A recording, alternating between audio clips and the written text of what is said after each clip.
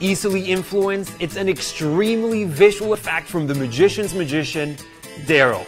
You'll get multiple impactful moments of magic, plus it's incredibly easy and fun to perform. After having two cards selected from a shuffle deck, you introduce an envelope with three very special cards. If I take the five of diamonds, which is a five, place it on the packet, give a little squeeze, all of the cards are fives. If I don't use the five, if I use the seven instead, give a little snap, all the cards become sevens. The cards are not just influenced by their value, but by their color as well. So if I take the five of diamonds, which is a red card, give a little snap, all of the cards become red cards. In the same way, if I place the seven of clubs on the bottom, which is a black card, give a little snap, they all become black cards.